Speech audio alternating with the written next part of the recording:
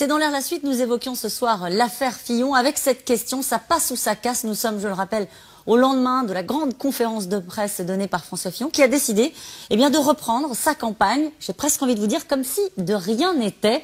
Nous en parlons avec Laurent Valdiguier, qui me fait la gentillesse de rester à mes côtés pour répondre à vos questions.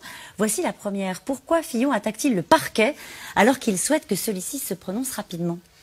Bah, C'est la nouveauté de François Fillon 2 versus François Fillon 1 sur TF1. Euh, il, euh, la première fois, il avait expliqué qu'il faisait confiance à la justice et qu'il demandait au parquet national financier d'enquêter très vite pour que tout soupçon soit levé. Et puis là, il a demandé à ses avocats de porter une note au parquet financier pour contester sa compétence et pour expliquer que les faits de détournement de fonds publics ne sont pas dans son champ de compétence. C'est un retournement.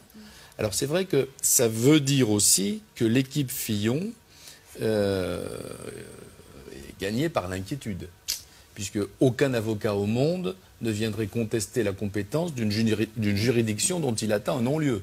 Euh, au contraire, s'ils attendaient un non-lieu et, s'ils attendaient du parquet euh, l'absence de poursuite, ils ne viendraient pas les contester. Donc c'est une trace absolue d'inquiétude. Le canard enchaîné enquête-t-il sur les autres candidats? On rappelle que le canard enchaîné a fait une nouvelle révélation ce soir 45 000 euros d'indemnité de licenciement euh, pour Pénélope Fillon. Espérons que oui. Hmm. Mais il faut demander à la rédaction du Canard enchaîné. Mais espérons que oui. Enfin, ils ont le canard dans le passé enquêté à droite, à gauche. Enfin. La justice française pourrait-elle rattraper Madame Le Pen avant le premier tour de l'élection? Oui. Alors oui, il y, a, une série d'affaires qui couvent contre elle, euh, nées d'emplois fictifs. Hmm.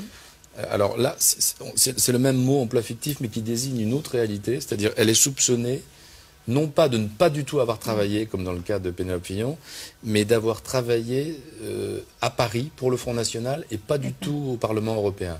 Donc le Parlement européen lui réclame 340 000 euros correspondant au salaire indu euh, versé à sa chef de cabinet au Front National. Je souligne, j'ajoute une petite différence, c'est que Mme Le Pen a dit qu'elle n'arrêterait pas sa campagne si elle était mise en examen, contrairement, à François Fillon. Merci beaucoup Laurent Valdiguier. On se retrouve demain à 17h50 pour un nouveau C'est dans l'air. Si vous voulez revoir l'ensemble de l'émission, c'est sur Plus, le site de replay de France Télé.